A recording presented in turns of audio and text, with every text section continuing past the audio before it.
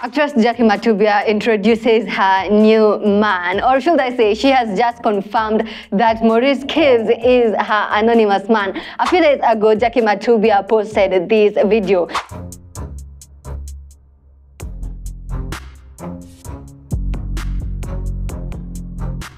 Now we can see that there's some public display of affection there and then the man's face is hidden by an emoji, of course intentionally. Now people were wondering who could this man be but BNN cousins Nikina Nani walikuwa washa suspect that this could be Maurice Kibbs and indeed their suspicions were right because Jackie Matubia later on confirmed that the anonymous man is actually Maurice Kibbs ama ukipenda Uncle Maurice.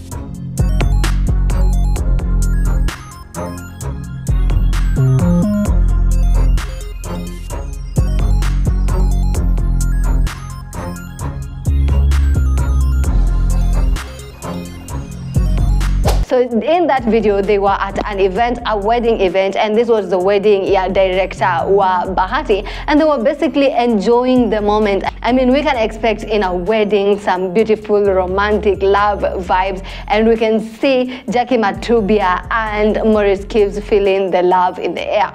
So I have seen a number of people commenting on this new thing or this new fling that Jackie Matubia has with Uncle Moray. And just to summarize opinions and netizens, one, people are saying that Jackie Matubia cannot keep a man. Others are saying that this relationship is probably not going far, whereas others believe that Jackie Matubia is just trying to send the story, or rather go with the story that the bloggers, BNN in this case, have been spreading.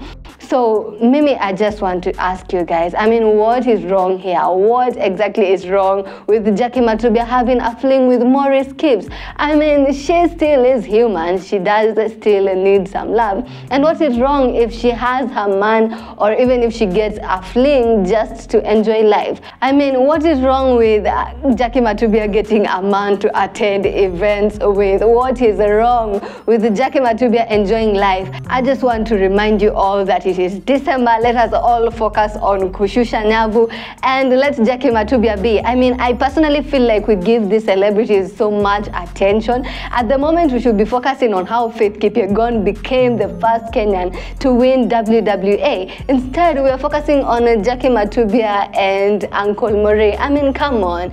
There are more serious things to focus on. I have been your girl, Rail Wangari. It is the unpopular opinion. You can poop on it if you want, but yo, this is BNN where we the bees like to keep it buzzing.